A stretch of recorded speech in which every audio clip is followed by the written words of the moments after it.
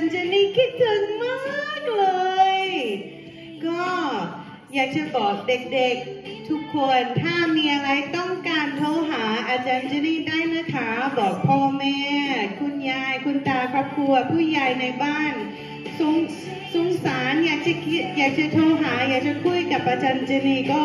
โทรหาได้นะคะ ไม่ต้องเกรงใจเลย ก็อยากจะบอกเด็กๆ อยากจะให้เด็กๆเรียน Superbook ต่อไม่ต้องหยุดนะคะ เพราะว่าเราไม่รู้เมื่อไหร่จะมานมัสการด้วยกันที่โบสถ์ได้ค่ะ ก็จะบอกพ่อแม่ผู้ใหญ่ที่บ้านขอช่วยหนูดู Superbook เรียนกับอาจารย์เจนนี่ได้นะคะ โอเคไหม ทุกวันอาทิตย์อาจารย์เจนนี่จะส่งวิดีโอใน YouTube อ่วนในทุกวันอาทิตย์นะคะ 9 โมงถึง 9 โมงครึ่ง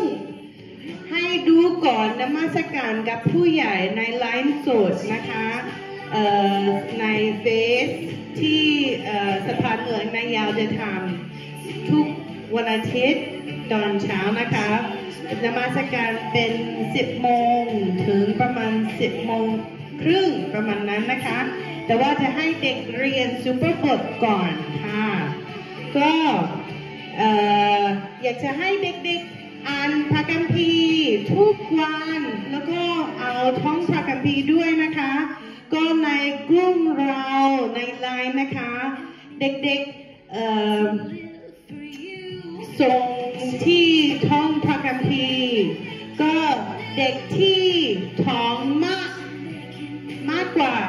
อาจารย์เจนี่จะให้มีของขวัญพิเศษนะคะ เวลา social distance เสร็จแล้วนะ เวลาเรานมัสการด้วยกันได้ เราจะอาจารย์เจนี่จะให้พระคัมภีร์ไม่ใช่พระคัมภีร์จะให้ของขวัญพิเศษนะ โอเค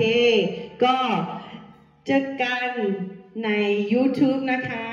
ดู Superbook เรียน Superbook ด้วยกันค่ะ รักนะคะ